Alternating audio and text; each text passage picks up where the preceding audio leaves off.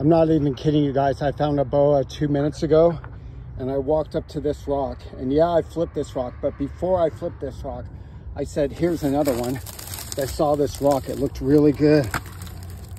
And look at that. I mean, I called that before I even flipped the rock. It's a live Rosy Boa Minute with Bill Boa Road. And this bow is like 20 yards from a freeway. Beautiful. I'm gonna put this rock right back on top of her in a second. I just wanna look at it. Been here for an hour and didn't see anything until just now. It's going off. BT, boa time, later.